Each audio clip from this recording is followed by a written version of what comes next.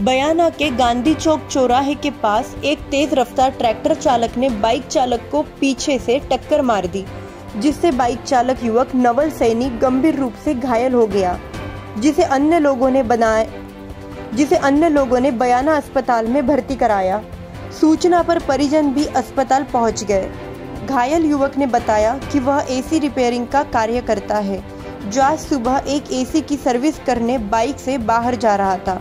वही एक tractor trolley चालक ने उसकी बाइक को टक्कर मार दी जिससे उसके हाथ व पैरों में गंभीर चोटें आई है। घायल का बयाना अस्पताल में उपचार किया जा रहा है। मैं एसी मैकेनिक हूँ।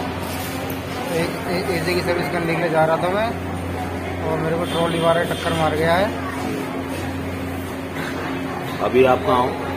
अभी मैं हॉस्पिटल में एडमिट हूँ।